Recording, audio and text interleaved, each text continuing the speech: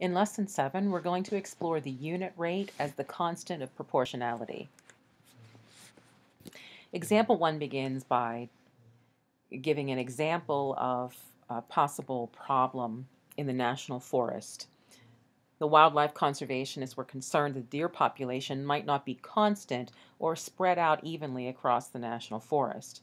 So they ran a study and found 144 deer in a 16 square mile area, 117 deer in a 13 square mile area, and 216 deer in a 24 square mile area. We'll look at those three ratios to see if they have some similarity or if they are proportional to determine whether there should be a reason for concern.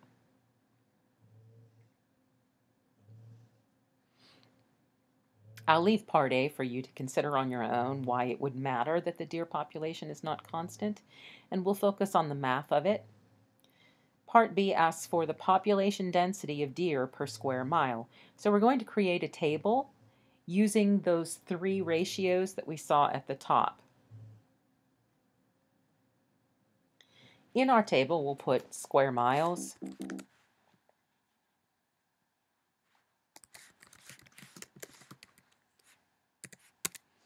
and then the number of deer. And our final column will be used to find the calculations. So in the first example, there were 16 square miles and 144 deer in each in that section. The second example was 13 square miles with 117 deer. And our third example was 24 square miles with 216 deer. Then we will go to our calculation column and we want to know how many deer per square mile. Look at it, deer per square mile, meaning that our unit is the square mile. We always divide the other number by our unit to find the unit rate. So we're going to divide 144 deer by 16 square miles, and we find that to be 9 deer per square mile.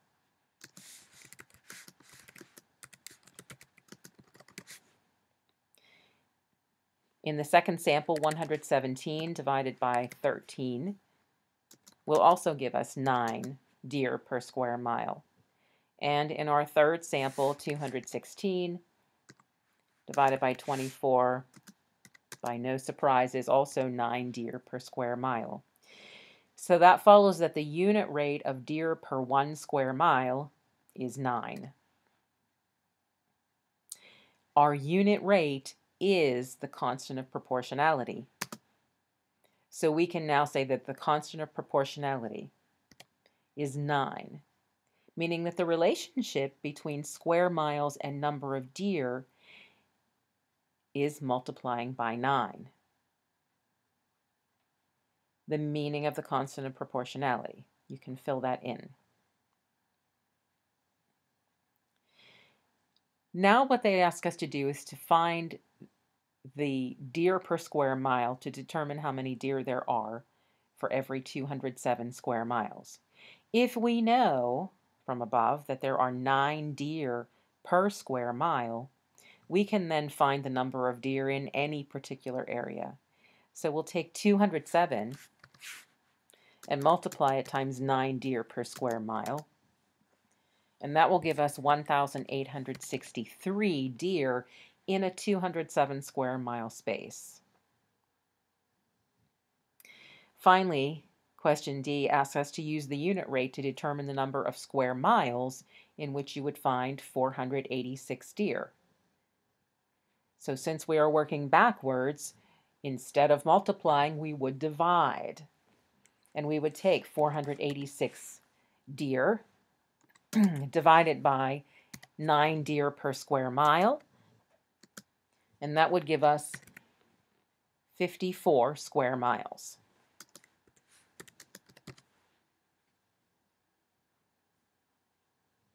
At this point, it's important for us to just review a couple of vocabulary terms.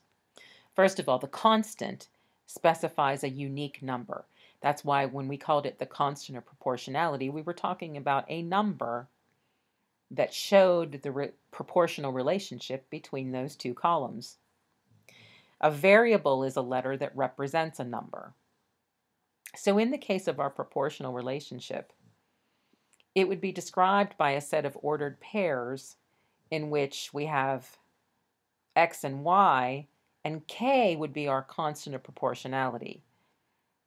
So the equation y equals k times x would show k as the constant of proportionality.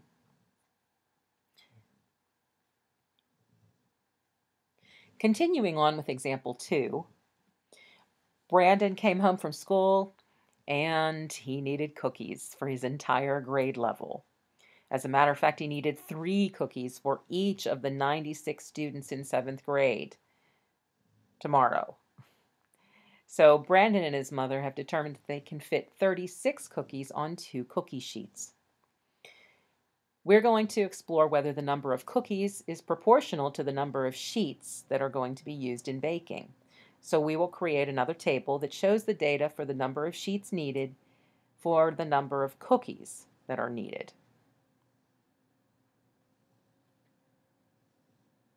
As we did in our last table, we'll set those first two columns up. Number of cookie sheets is going to represent the X value. X always comes first. And the number of cookies baked will represent our Y value, which is always the second number in our table. And we have a third column for us to show our, our calculations. So if we have two cookie sheets, Brandon and his mother look up in the problem, determined that they can fit 36 cookies on two cookie sheets. So if we have two cookie sheets, 36 cookies are baked. If we were to have four cookie sheets, 72 cookies would be baked. And we'll go over to the side and calculate what the unit rate is by dividing the y value by the x value. That's typically how we do this. Take the second number divided by the first, which would give us 18 cookies per sheet.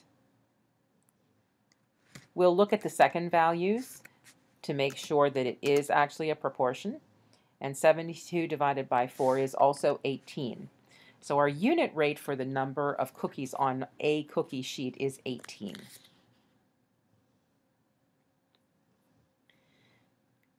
Since Brandon needs more than 72 cookies, we'll extend our table to some higher values. Skipping ahead to 10 cookie sheets, we could fit 180 cookies on 10 cookie sheets. And proving again the constant of proportionality, 180 divided by 10 is 18 cookies per cookie sheet. Finally, we'll go to 16 cookie sheets, which is 288 cookies. And 288 divided by 16 cookie sheets equals 18 cookies per cookie sheet.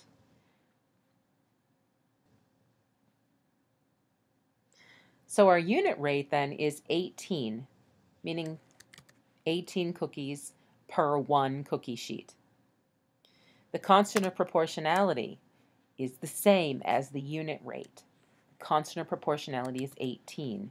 That is the number that we are multiplying by our x value to get our y value every time.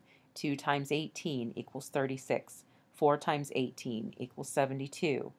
10 times 18 equals 180 and 16 times 18 equals 288. The meaning of the constant of proportionality in this problem is that we can fit 18 cookies per cookie sheet.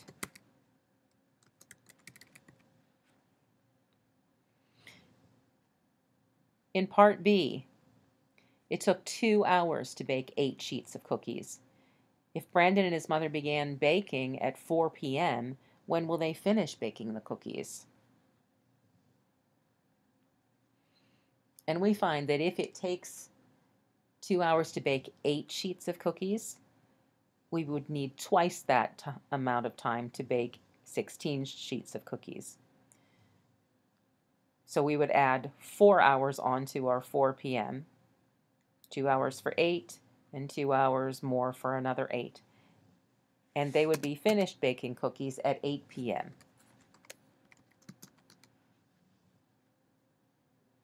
Our final, example in this lesson is an example talking about crepes.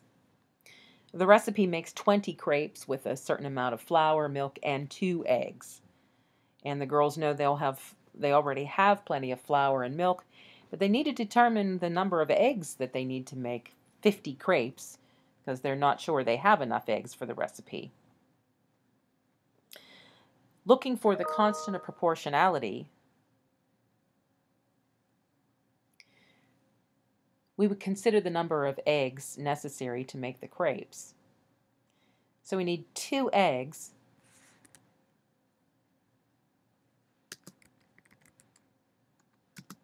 for every 20 crepes. Looking back at our recipe, 20 crepes with two eggs. If we simplify that ratio, we're going to find that one egg would be needed to make 10 crepes. And we would note that that is a unit rate because we are talking about one egg. Remember, a unit rate is talking about one of something. And then if we turn that rate into a ratio, that would become one-tenth. Ratios do not concern themselves about the types of units that we're talking about. Ratios are simply the numbers. The constant of proportionality in this particular problem means that one egg is needed to make 10 crepes.